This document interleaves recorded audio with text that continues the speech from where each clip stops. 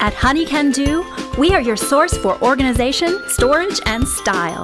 We make product assembly easy so that, well, any honey can do it.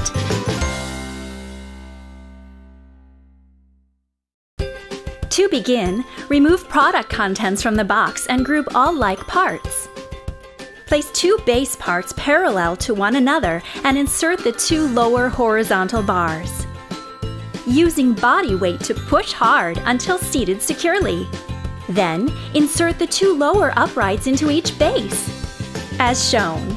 Again, use body weight to tightly secure them into place. Next, identify the upright connectors, the upper uprights, the crossbar, and the T-connectors.